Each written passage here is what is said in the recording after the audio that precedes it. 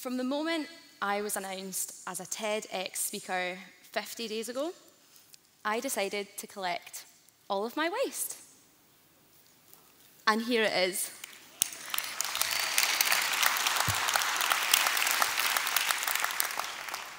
I am trying to live zero waste. What does that mean?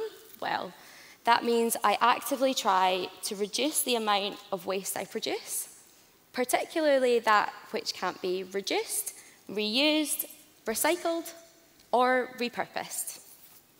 While we're waiting for governments to make the big changes and companies to create innovation, there is so much we, as an individual, can do. Many of you will have seen Blue Planet and know the crisis our world is in with plastic pollution. You might be sitting there thinking, what difference can we actually make? Won't it be insignificant? Well, I'm here to tell you we can make a huge difference. So picture this. It's New Year's 2018. I'm spending the festivities with my friends and family on the east coast of Scotland in a quaint coastal village called Elie.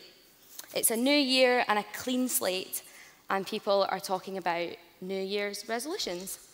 But this year, I could not think of one. So we go on our New Year's Day walk and we're meandering through the green golf course paths and along the white sandy beaches when suddenly it hits me. Piles of plastic waste. For years as a geography student, I studied the impacts we make on our planet. But it took it having me right in the face to realize I had to make a difference I had to make a change.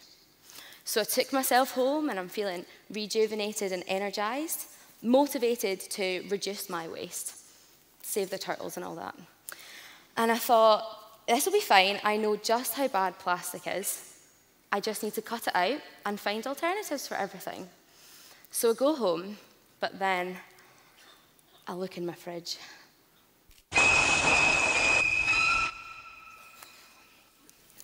I pull open a cupboard. And then the worst one, I peered into my bathroom.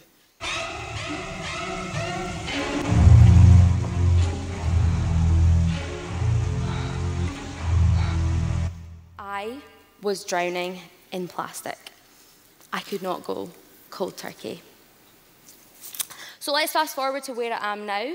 I'm a year and a half in and I've found my groove, slowly phasing things out and educating myself. Shampoo bottles went to shampoo bars. Fruit and veg in excess plastic packaging just went loose into my baskets. And single-use disposable items went to reusables I carry around with me every single day. So you've all got to do this perfectly, right? We'll see. If you're sitting there thinking, I don't care, or I definitely can't make a difference. Let me introduce you to my cousin, Lucy. She's the total opposite to me in every way, a glam hairdresser from Dundee. And recycling and the environment were far from her everyday thoughts. Even with her little cousin banging on about it, she didn't seem to make a change. That was until one day, driving five minutes to the gym, she pulled into her local supermarket to buy a bottle of water, like she did every time. But this time, something was stopping her. So she walked to the next aisle, picked up a reusable bottle, took it to the gym, and filled it up at the tap. Magic. Something clicked for her. She made the connection between her actions and our world. Living environmentally is infectious.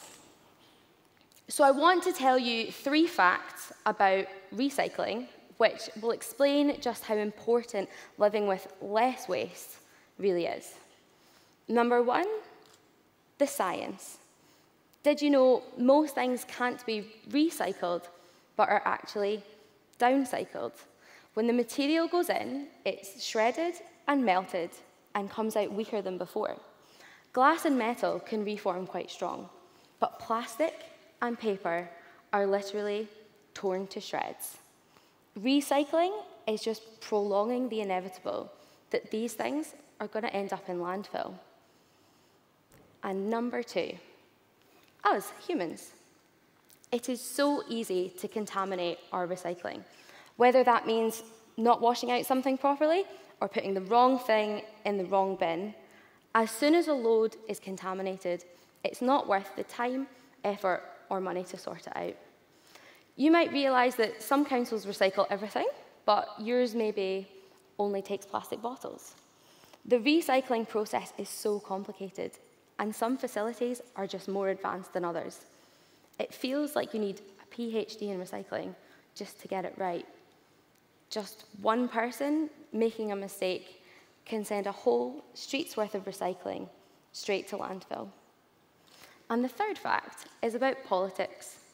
Last year, China, previously the world's largest importer of waste, said it was not going to be the world's dumping ground anymore. And rightly so. And now the UK is being overwhelmed by the amount of waste we're producing. And now some countries are sending it back, so we better get a move on. Now, do you remember when I said you had to do this perfectly? How about I leave you with just one switch? It's something we all drink and a change we can all make.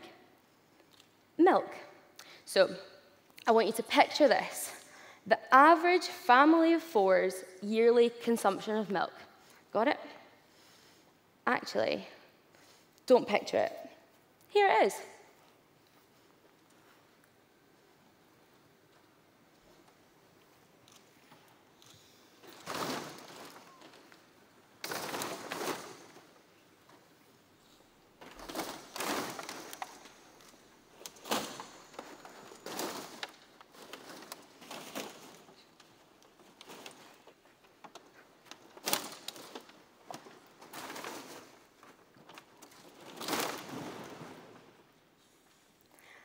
So, what if this family or you was to switch from milk in plastic bottles back to the way it used to be? Delivered to your doorstep a plastic solution, milk bottles. And on these glass bottles, the only form of waste is a small foil cap. And once you get enough of them, you can scrumple them into a ball and recycle them, just like any other item. So instead of all of this waste, all you would produce is this. If every single person here today was to decide to cut out one thing each day for a year, we would save a million things going to landfill. You can make that connection. You can start with that single use plastic bottle of water we have in our bags we can decide to make that the last one.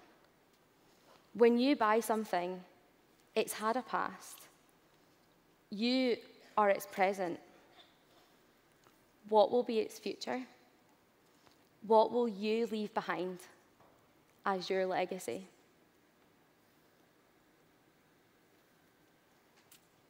Thank you.